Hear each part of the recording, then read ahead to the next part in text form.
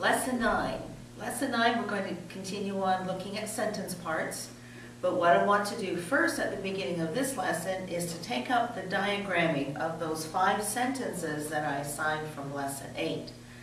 Remember, we're looking at the basic sentence parts, your subject, your verb, your complements. And when you diagram those words on the baseline, those words will make sense together. So let's take a look at sentence number three. We have the Macedonians became the first European Christians. So let's take a look at diagramming this. You've already done your subjects, your verbs, you've already labeled the uh, complements. So it's just a matter of putting it on the picture, on the diagram.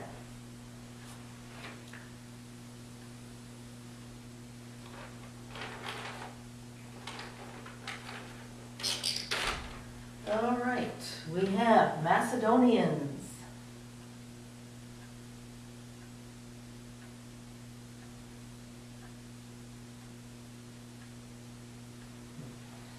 And the action or the linking is became. And the complement that finishes that is Christians. We're looking for the noun that follows it.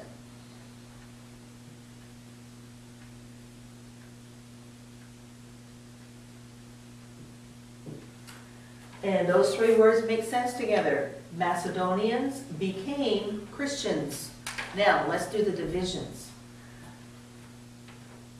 Vertical line all the way through, separating the subject and the verb. Became is a linking verb. Christians, Macedonians, those are nouns. It's identifying Macedonians. Therefore, we have a predicate nominative, and the line is a slanted line, stopping at the baseline. Now, the rest of the words in the sentence are modifiers. we have the Macedonians. We have the first European.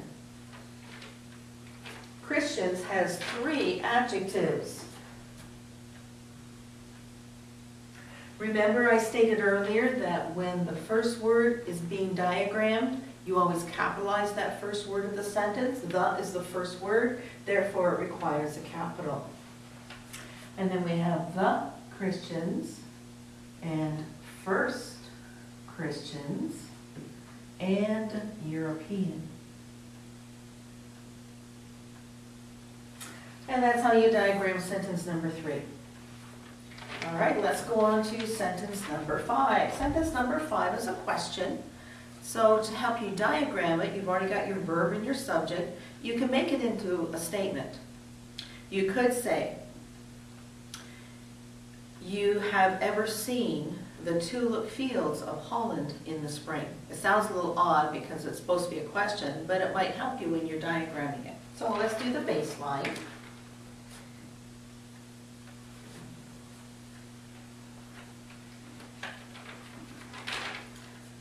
The subject is you. Notice you is not capitalized because it's not the first word in the sentence. Now we have have seen as our verb phrase. Have is capitalized.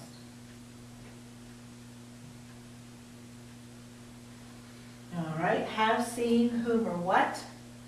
Fields. You have to be careful. We think of tulips as a noun, but in this sentence it's being used as an adjective. The noun, the complement is fields.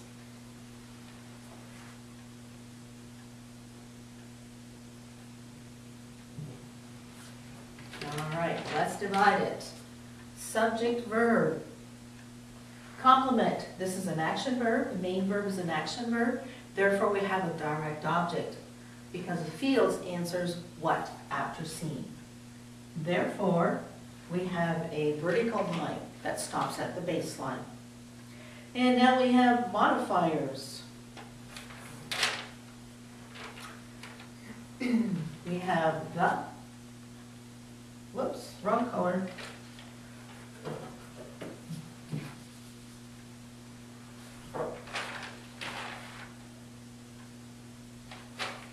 yolda.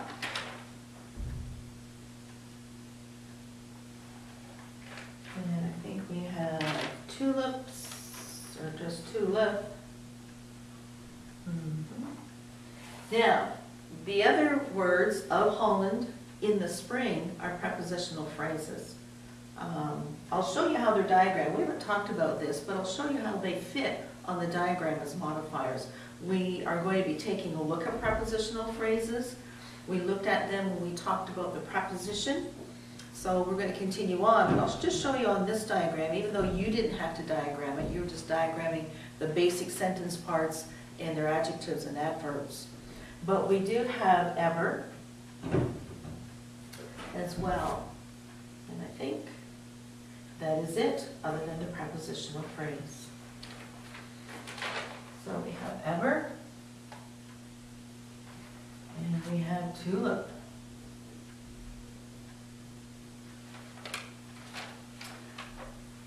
Now, for the prepositional phrases, of Holland is a prepositional phrase, and it acts as an adjective, it's modifying fields. And then you have the prepositional phrase, in the spring. In the spring is another prepositional phrase, and it's also a modifier. And if you were diagramming those, you would diagram under field. And then in the spring um, is an adverb answering the question when, and you would diagram it underneath uh, the verb. So we're just going to leave prepositional phrases, and we'll be looking at those a little later on. Now, let's go on to our next sentence. Great ridges and trenches on the ocean floor form vast ranges of hidden mountain ranges. Let's just erase what we have to give us some room. Whenever you diagram, you always want to give yourself plenty of room to diagram so that you can draw your horizontal and vertical lines without having them run together and crowd the others.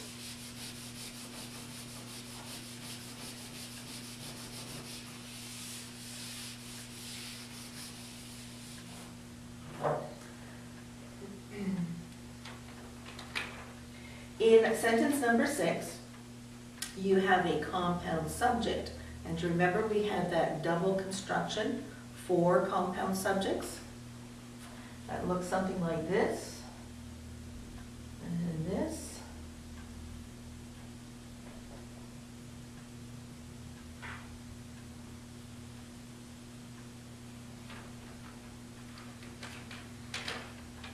Our compound subject, ridges, trenches. Diagram them in the order that they appear. Ridges, trenches.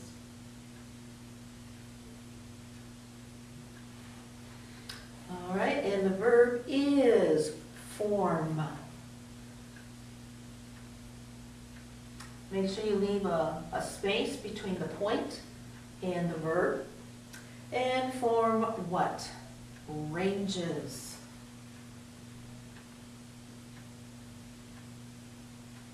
So ridges, trenches, form ranges. Those words all make sense together. All right, let's divide the verb. Again, you want to leave a space between the point and the verb. This is an action verb, therefore we have a direct object. We have a vertical line that stops right at the baseline. Now, we have an adjective for great. Great is modifying ridges. Hmm. I believe in this sentence, great is modifying both nouns, ridges and trenches. When that happens, let me move my lines over and just realize that it's not just great ridges, but it's also great ridges and great trenches.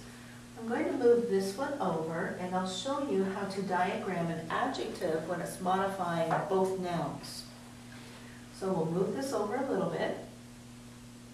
Since this is a compound part, we can draw a slanted line on the subject side. This is the subject side of our baseline. And since great is modifying both nouns, we diagram it there, showing that it's describing both. And it also begins with a capital letter, it's the first word of the sentence. Ranges, we have vast ranges.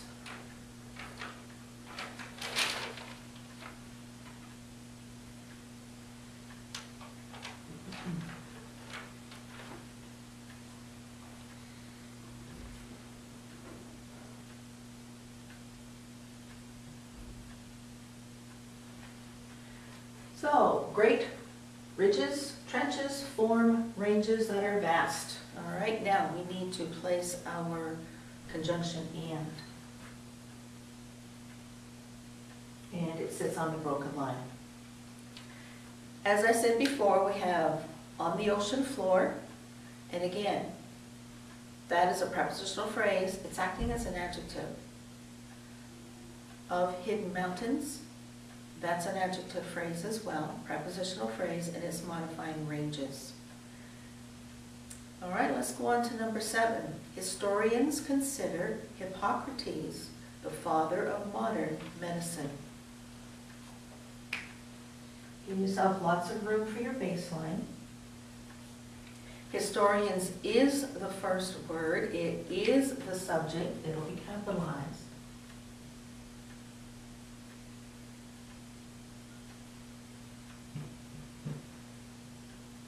Verb, consider.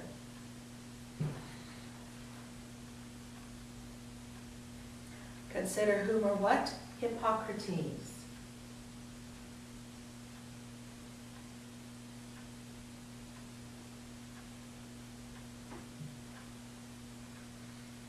We have the verb consider.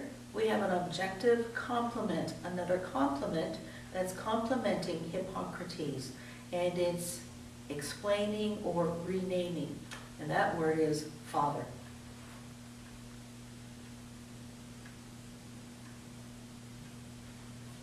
All right, historians consider Hippocrates father. Again, all the words make sense. It doesn't sound odd. It might sound not very descriptive because we're missing the adjectives, but it does make sense. Separate the subject and the verb. Separate the direct object and the action verb. And then if you remember, for the objective complement, since father is identifying Hippocrates, it has a slanted line slanting towards the objective complement, or the direct object. For the adjectives, we have the father,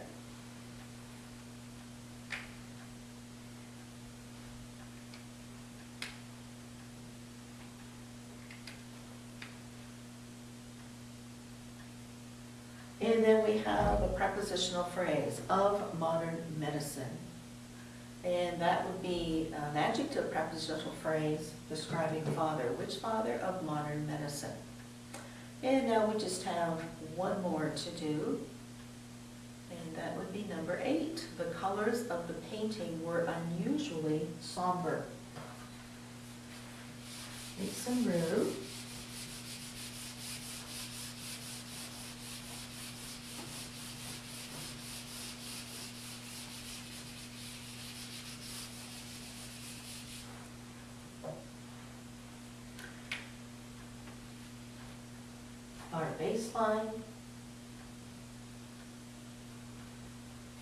And the subject of the verb is colors. The verb is were. We have a linking verb, colors, were. Now, what is the complement that is either describing or identifying colors? And it's somber. Somber is an adjective, and it's modifying colors, it's describing it.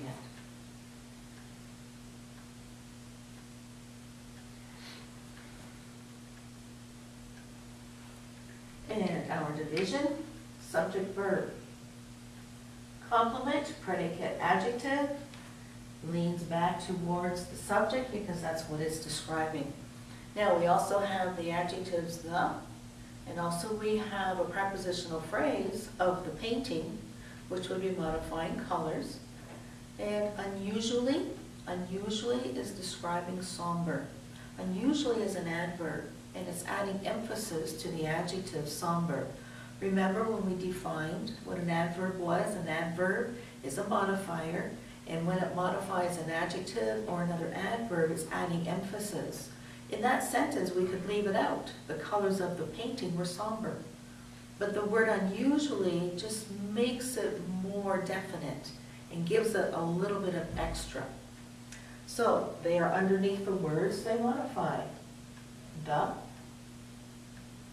and unusually.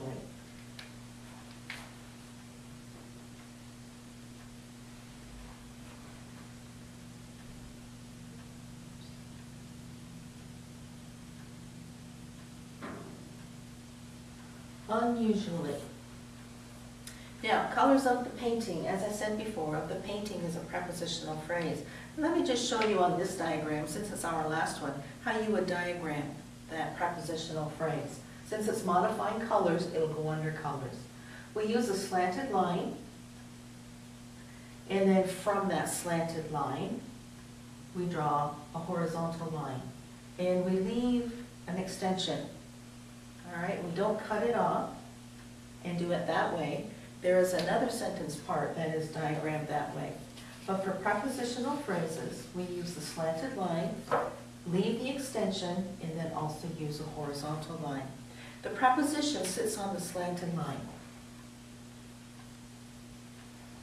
And remember, a prepositional phrase has a noun that follows it, In painting is the noun. And then the is also an adjective modifying painting, and it would go there. And that's how you would diagram a prepositional phrase on that type of structure. All right. That finishes our diagramming lessons. Remember, when you do diagram your baseline, all those words will make sense together. Continuing on with lesson nine, I said earlier that we're going to take a look at phrases. Phrases is another sentence part, where we take a look at parts of speech. We see that they can be used to form sentence parts. We have subjects that can be nouns and pronouns. We have our verbs. We have our complements. And we learned that our complements can be nouns, they can be pronouns, and they can be also adjectives. It depends upon the kind of complement. So we're going to take a look at another sentence part called phrases. Now in lesson eight, we looked at verbals. Verbals, if you remember, are a verb form, but they're also used as another part of speech. Verbals can be used as nouns, they can be used as adjectives, and they can be used as adverbs. Now we're going to take a look at phrases, and that's another sentence part. And there are several types of phrases that we're going to take a look at in this lesson. But I want you to keep in mind the basic definition, and you'll see that in your notes. Follow along. A phrase is a group of related words that does not contain a subject and its verb. You remember I made reference to that often when we were looking for subjects and verbs in your assignments and when we did them on the board, that a subject of the sentence is never found in a phrase.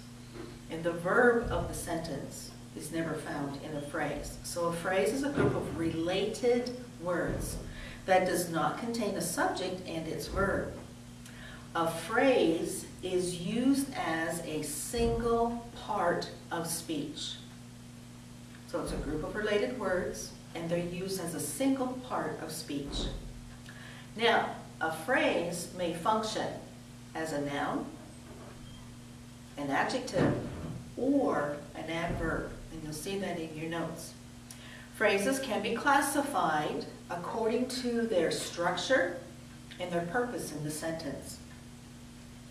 Just like when we were analyzing the sentences, we can analyze the sentence by its part of speech, and we can also do a picture analyzation by diagramming it to show the relationship of the words.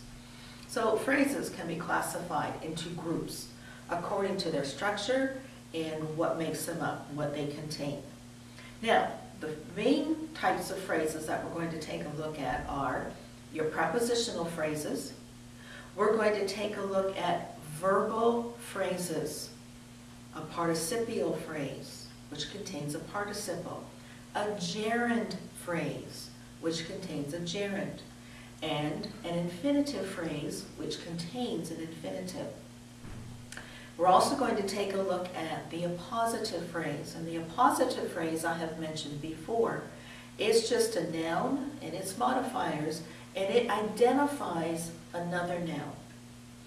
But the first phrase that we're going to take a look at is the prepositional phrase. Now, to help us refresh our memory, we're going to go back to your lesson three. So if you could turn back to lesson three, that's where we covered prepositions.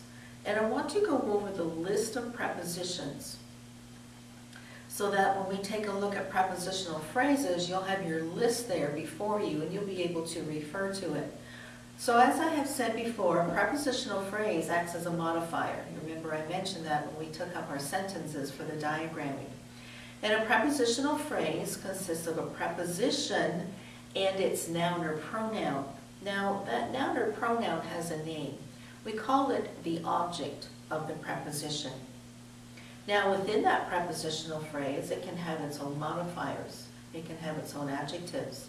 So a prepositional phrase, if you look at your definition there in your note, a prepositional phrase consists of, prepos of a preposition, its noun or pronoun, the, the object of the preposition, and any modifiers of that object.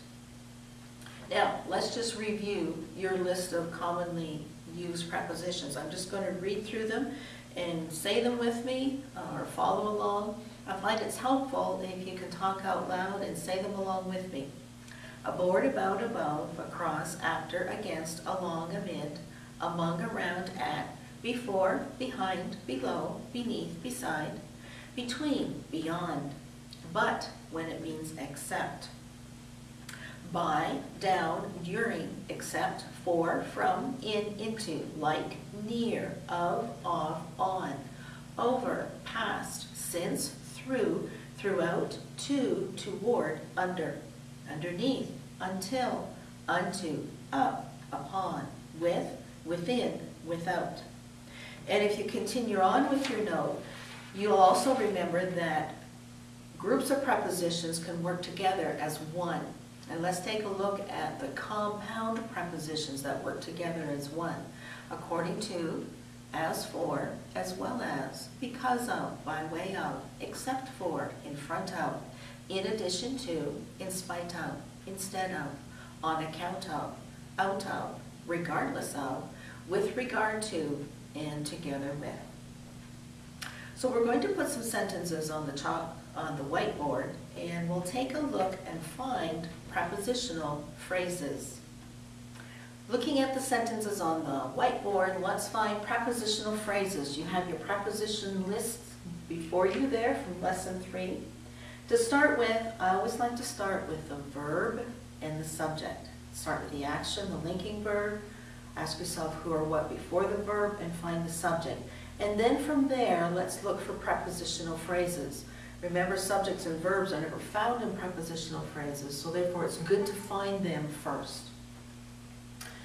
We gave them a basket of fresh fruit. What's the action? What's the heart of the sentence? Gave. Gave is the verb. Who or what gave? We. We gave what? Basket. It's a direct object. Gave to whom, for whom? Them. Your indirect object. Remember, the indirect object is always sandwiched between your verb and your direct object. Now, let's find the prepositional phrase. We have a preposition of, the object of the preposition, the noun, fruit. The phrase, of fresh fruit. I'm going to put parentheses around it because it's a unit and it works together as one. We have our preposition, we have our noun, which is the object of the preposition. Now, let's take a look at it. Fresh is an adjective modifying fruit. So within that unit, the object of the preposition can have its own modifier. We have an adjective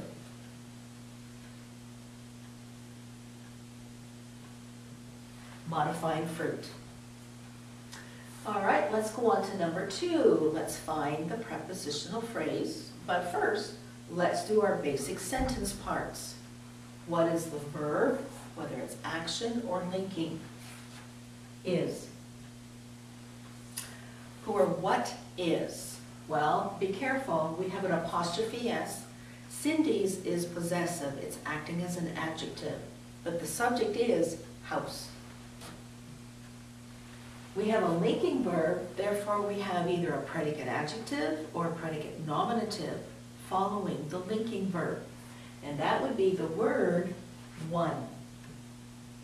And one is a predicate nominative. If you remember, one is a pronoun, and it's from our list of indefinite pronouns that we looked at. Let's find the prepositional phrase. Preposition with. What is the noun that's working with the preposition? Shutters. We have a unit with green shutters. A prepositional phrase beginning with the preposition with and ending with shutters, the noun, which is the object of the preposition.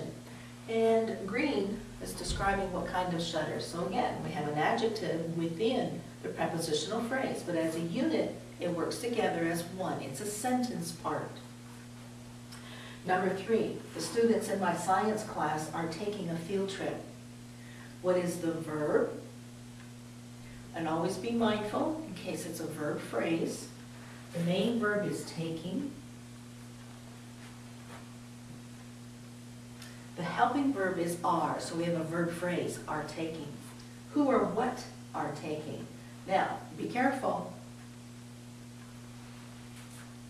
Students is the subject. Taking a look at in my science class. Remember I said subjects are never found in a prepositional phrase?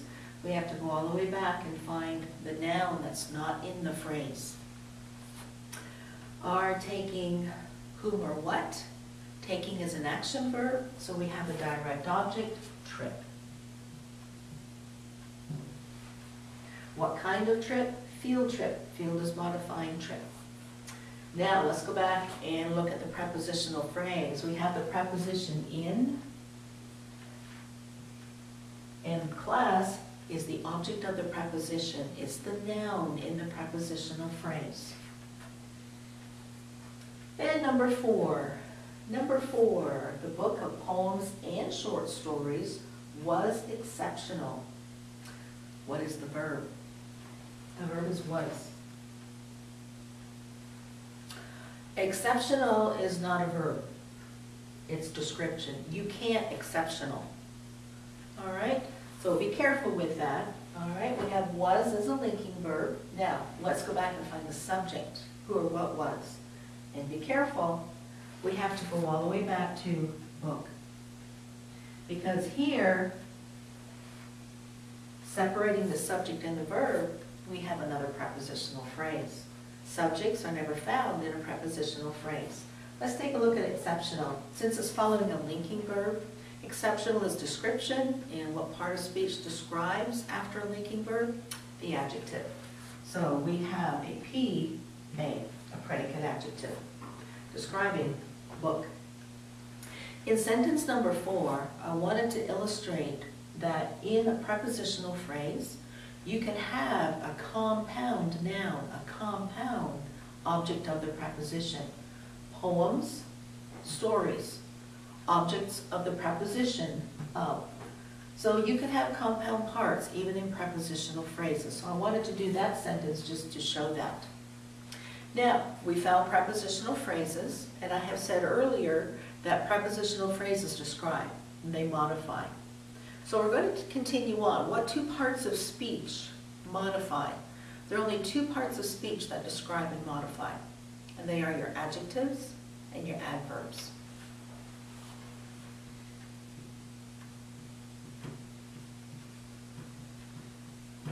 Adjectives and adverbs are the two parts of speech that modify. Therefore, a prepositional phrase is modified then we have adjective prepositional phrases and we have adverb prepositional phrases. And the first thing I want to take a look at is your adjective prepositional phrase. And we're going to take a look at the sentences that are on the whiteboard because they illustrate the adjective and being a modifier of a noun or a pronoun. Number one, we gave them a basket of fresh fruit. Well, we know the prepositional phrases of fresh fruit. Um, it answers the question, what kind of basket of fresh fruit? So we have an adjective prepositional phrase following the noun it describes. And as a whole unit, the whole unit is describing basket. Number two, Cindy's house is the one with green shutters. With green shutters is describing the word that comes before it, the predicate nominative, one. So as a whole unit, the adjective prepositional phrase is modifying one. And in turn, one is identifying house. Notice the position of the adjective prepositional phrase when it modifies a noun. Most often, it will follow immediately after the noun that it's describing. Number three also illustrates that. We have the prepositional phrase in my science class. All right, which students? When you think of the questions that adjectives answer about the words they describe, what kind, which one, whose, how many, or how much, prepositional adjective phrases will do the same. So, which students or which ones in my science class? In my science class is a prepositional phrase acting as an adjective and it's describing students. Number four, the book of poems and short stories was exceptional. Well, we know of poems and short stories is a prepositional phrase. Take a look at it's following the noun, the subject book, and it's describing book. What kind of book or which one? So, prepositional phrases can be adjectives. They can modify nouns or pronouns. When an adjective phrase follows a noun immediately, then usually it's an adjective phrase to help you identify it. If it's a phrase that follows a noun, then usually it's your adjective phrases.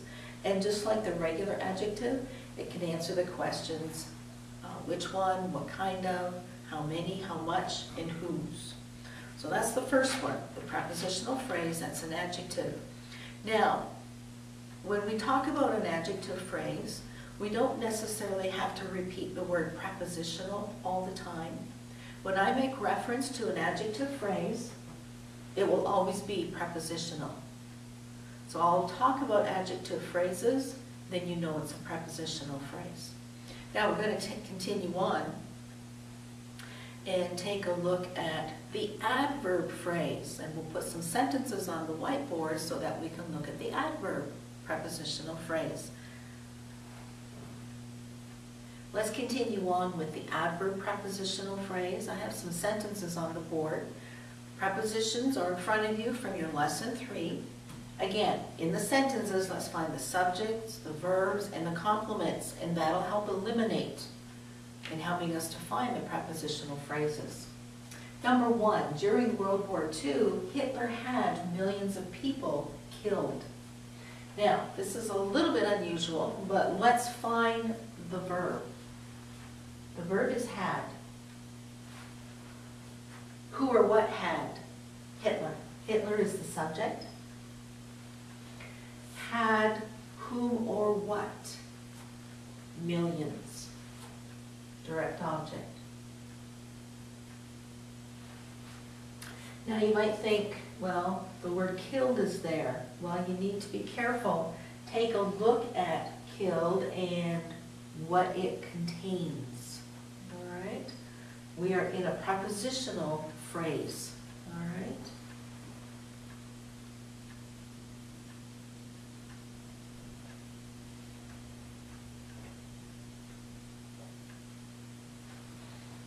All right, now, we have another prepositional phrase.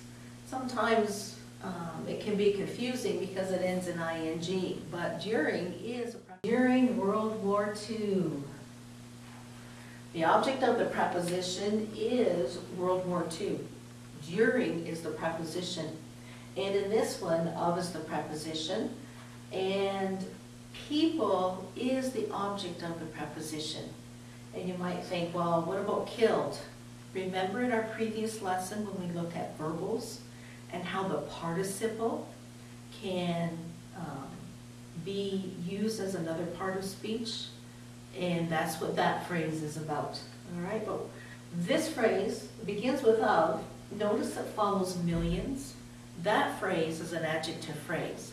But we've looked at adjective phrases, so I want to take a look at the first prepositional phrase, during World War II. During World War II answers the question, when? And remember, adverbs can answer the question, when. Remember, there are other questions, how, when, where, to what extent. All right, so those are the other questions that adverbs can answer. And in this sentence, during World War II answers the question, when? Had, when?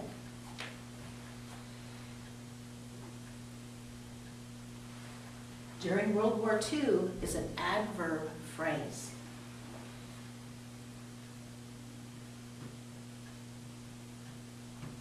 Modifying the verb, had. Notice its position. We've spoken about this before. To add variety to your sentences, to make your writing interesting, it's good if you can begin a sentence with a prepositional phrase. During World War II can be moved. It doesn't have to begin the sentence, we can move it. Hitler had millions of people killed during World War II. We can even put it at the end. But to add sentence variety and for interest, it's placed at the beginning. Notice what it is at the beginning. Not all adverb phrases are separated by a comma, but some are. And when we get into punctuation and the proper use of a comma, we'll be touching on that. All right, number two. After the game, the teams stopped for a burger. Let's find the action, let's find the verb, whether it's linking or action. Stopped. Who or what stopped? Teams. Stopped, whom or what? Well, there is no complement, all right? But we do have prepositional phrases. For a burger, for is a preposition, burger is the object of the preposition, it's the noun. For a burger. We have another prepositional phrase, after the game. After the game, the team stopped for a burger. After the game, the preposition is after, the noun, the object of the preposition is game. As a unit, it's a modifier, and it's modifying stopped. It answers, well, what question? When? When stopped? After the game. And this one answers when.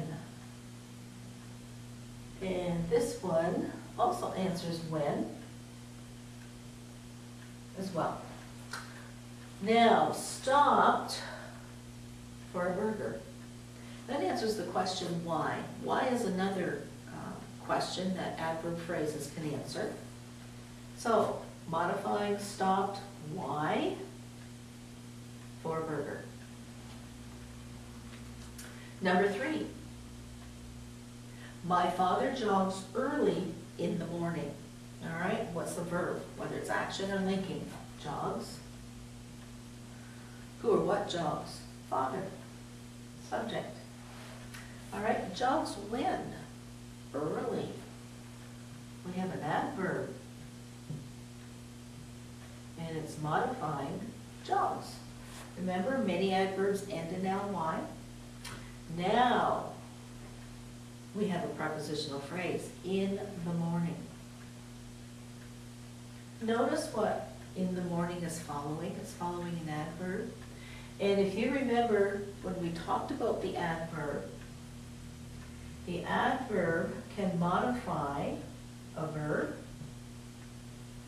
an adjective, or another adverb.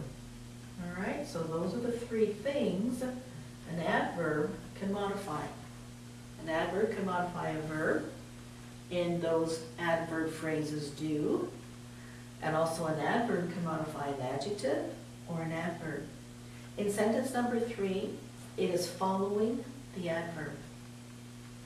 And it's modifying the word early, the adverb early.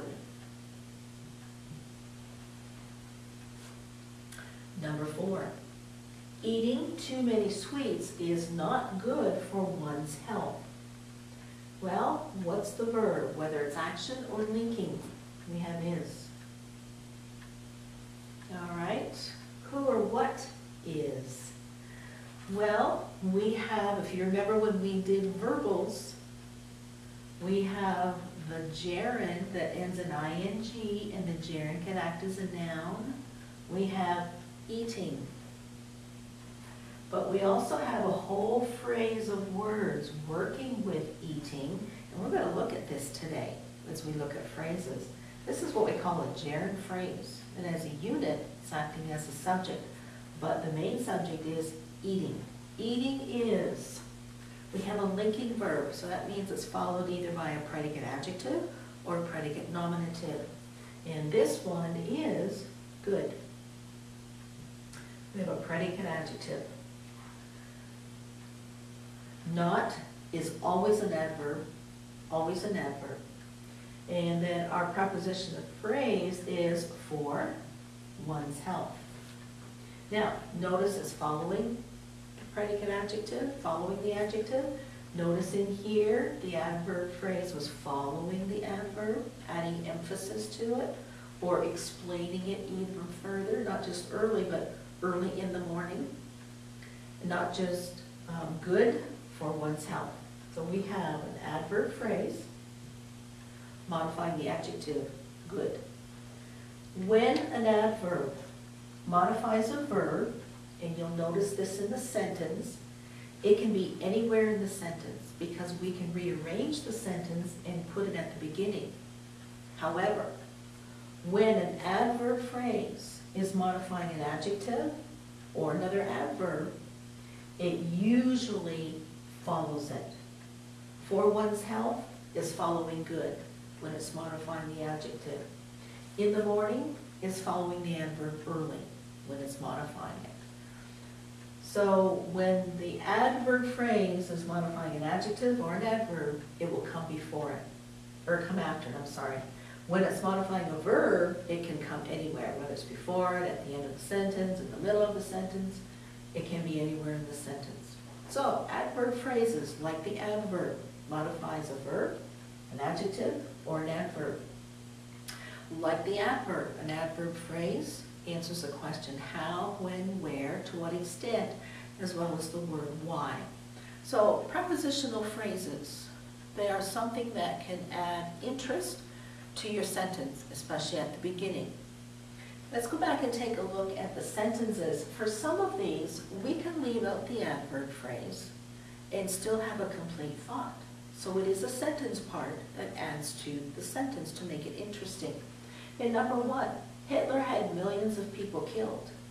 We can leave out during World War II and it still makes sense. But during World War II just makes it that more definite.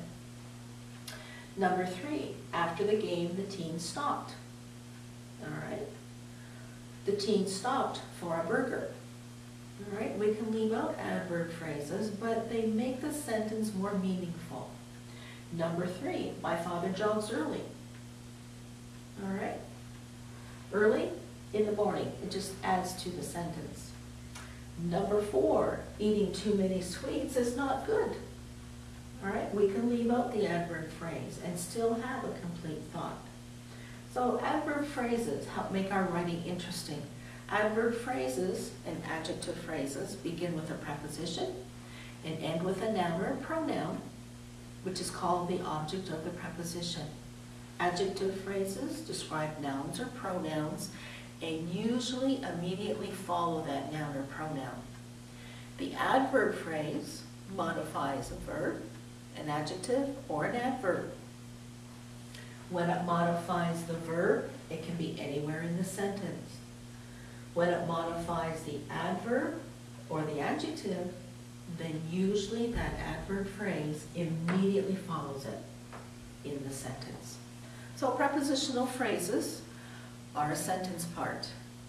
And prepositional phrases are adverb phrases and adjective phrases.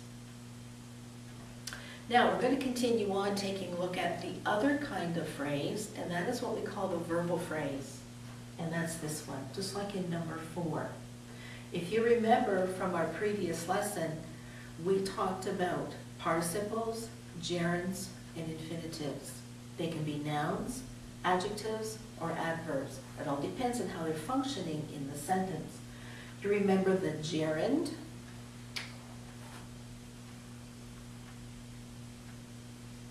ends in ing, and it's a verb form. All right, eating is a verb form. It's ending in ing. Notice the position in the sentence. This one's acting as the subject. You'll also notice that there are other words working with eating. Because it's a verb form, it can have its own modifiers, and it can have its own complements. You might think, all right, but remember, it's all working together as one. This is a unit working together, and it's the subject of the sentence. But it can have its own modifiers, and it can have its own complements. So that's just one example. But we're going to go back and take a look at each one of the verbals. We're going to take a look first at the participle. And when the participle has its own modifiers and its own complements, we call it a participial phrase. Do you remember the participle acts as an adjective? It's a verbal adjective. So we're going to take a look at some sentence examples where we're going to see the participle and look at the words that are working with it as a unit. Remember the definition of a phrase? It's a group of related words that work together as a sentence part. So let's begin by taking a look at some sentences with the verbal content. Take a look at your notes there about verbal phrases, and let's take a look at some characteristics. It says a verbal phrase contains a verbal and other related words to form a phrase. There are three types of verbal phrases. We've got the participial, the gerund, and the infinitive. Let's take a look first at the participial phrase. And let's take a look at its characteristics. The first characteristic, a participial phrase functions as an adjective. So think of the questions adjectives answer. Which one, what kind, how many, how much, um, which one. Number three, or the second characteristic. Since it is a verb form, it can have its own complement. Because it is a verb, it can be followed by an object because it is a verb, a verb form. Another characteristic, the participle can be modified by single adverbs or prepositional phrases. So your participle can have a complement, it can have a single word modifier, an adverb, or it even can have an adverb prepositional phrase. But keep in mind the last characteristic. The entire participle phrase in itself is used as an adjective, even though these other parts are within that participial phrase. And let's take a look at the examples on the board just to illustrate these characteristics of a participial phrase. Number one, gazing at the sunset, we were reminded of the beauty of God's creation. First of all, let's find the main verb, the heart of the sentence and the subject. We're reminded. Who or what were reminded? We. Let's take a look at the verb form. Now remember in participial phrases, the participle can be the present participle, it can end in ing, or it can be the past participle, it can have a past form, whether it's ed, d, nt, or t. Gazing is a present participle. Gazing at the sunset. Notice there's a comma there. This is a whole unit. It is a participial phrase. It begins with the participle, present participle, gazing. But working with it, gazing at the sunset. So as a whole unit, the participial phrase is an adjective. And as a unit, well, who or what is it modifying? Who is it describing? It's describing the subject, we. Now, let's take a look at the participial phrase in itself. Within that unit, it's a verb form, therefore it has a modifier. Within the participial phrase, we have an adverb phrase, at the sunset. So we have another unit within that one, and it's an adverb phrase, modified gazing. So that's a sentence part. As a whole, it's a unit. As a whole, it's modifying we. But within that unit, its own adverb prepositional phrase. Now, if you want to take a look at other prepositional phrases, we've got of the beauty and of God's creation. But let's just concentrate on verbals. Number two, the soldier wore a uniform covered with ribbons and medals. All right, let's find the main verb, the heart of the sentence, and the subject. Wore is your main verb. Who or what wore? Soldier. Soldier is who the sentence is about. Wore, what? Uniform. We have a direct object. Now, take a look at what's following the direct object. Covered with ribbons and medals. Covered with ribbons and medals is a participial phrase. It contains a participle, the past participle covered, and it has its own modifiers with ribbons and medals. So here we have the participial phrase, and it's a participial phrase. And as a unit, it's modifying uniform. What kind of uniform? Covered with ribbons and medals. Notice we have the past participle covered, and then we have a prepositional adverb phrase inside of it. But as a unit, it's acting as an adjective.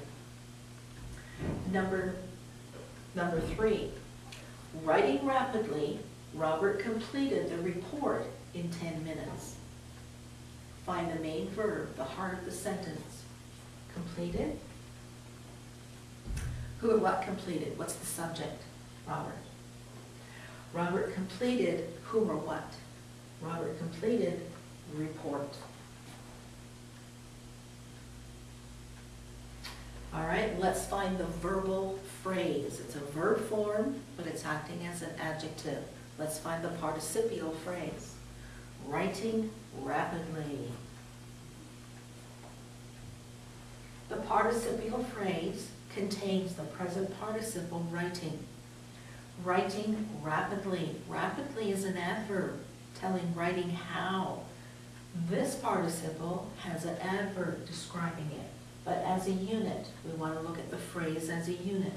Writing rapidly is the participial phrase.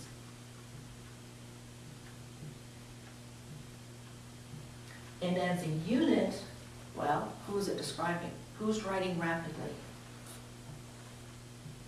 Robert. We have a prepositional phrase in 10 minutes, but that's not a part of the participial. All right, that's an adverb phrase, modifying completed. Number four, the gardener, fearing a frost, covered his plants. What is the main action? Covered. Who or what covered? Gardener. All right, gardener covered what? Plants. Plants is the direct object. Take a look at what's separating the subject from the main verb. Notice the punctuation. We have a present participial phrase. Fearing is our present participle. Fearing a frost is a whole unit working together. This is a verb form.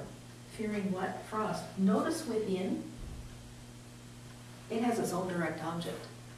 So as we looked at the definition of a participle, it functions as an adjective, but since it's a verb form, it can have its own complements, and it can have its own modifiers. It has an adverb inside the phrase describing it. It has prepositional phrases, an adverb phrase describing it, and an adverb phrase describing it. So it is a unit that acts as an adjective, but within that unit, because it is a verb form, it can have these additional parts. Now, fearing the frost. Well, who's fearing the frost? Gardner. As a unit, it's acting as an adjective, modifying Gardner. Now, I want to point out another characteristic that we haven't looked at, and that's the characteristic of the necessity of a participial phrase. Remember I said earlier that adjectives add interest to your writing. Participial phrases that act as an adjective also add interest. But we can take the participial phrase out of the sentence and we can still have a complete thought. Notice in number one, we were reminded of the beauty of God's creation. We still have a complete thought. But notice the added description and how it makes it more interesting. Gazing at the sunset. Beginning the sentence with that adds interest to it. Notice when the participial phrase begins the sentence, it's separated by a comma because it's added information and you have a complete thought without it. Number two, the soldier wore a uniform. That's a complete thought. We can leave out the participial phrase and still have a sentence. But notice how the participial phrase adds description and makes it more interesting. The soldier wore a uniform covered with ribbons and medals. It makes a more vivid picture in the reader's mind by adding the extra additional description. Number three, Robert completed the report in 10 minutes. Complete thought. But notice the first part, the participial phrase, writing rapidly, that just adds a little more intensity to it. And again, when it begins the sentence, notice the punctuation. It's separated with a comma. Number four, the gardener covered his plants. Still a complete thought. Fearing a frost is added for description. Notice when the participial phrase follows the noun it describes, it's also separated by commas. That's one thing about the participial phrase. When it's separating in the middle, we use commas. Notice here in number two, no commas are necessary because there is nothing following the participial phrase. So commas aren't necessary there because this participial phrase is modifying at the end of the sentence the direct object. This one begins it, you need a comma. This one begins it, you need a comma. This one follows the noun or pronoun it describes, therefore you need the commas. So participial phrases act as adjectives. Since it's a verb form, it can contain its own modifiers, and it can contain its own direct object, all right, its own complements. All right, so that's the participial phrase. I think the participial phrase is one of the easier ones, especially with the commas, to spot in a sentence, especially with the commas. So let's go on and take a look at the gerund. Now the gerund might be a little bit more of a challenge to find because the gerund acts as a noun. And since it acts as a noun and always ends in ing, it can function as these other sentence parts. Let's take a look at the characteristics of a gerund. A gerund phrase consists of a gerund, and the gerund ends in ing, together with a complement and any modifiers. A gerund can be modified by single adverbs or by a prepositional adverb phrase. The entire phrase, with its modifiers and any complements, is used as a noun. All right, now, remember, what are nouns in a sentence? Well, your nouns are subjects, direct objects, uh, predicate nominatives. It can even be um, object of the preposition, and it even can be used as an appositive. So those are all the functions, sentence functions of the part of speech, noun. And a gerund is, remember the nickname, a verbal noun. We're going to take a look at some sentences to see how gerunds function as a phrase in a sentence.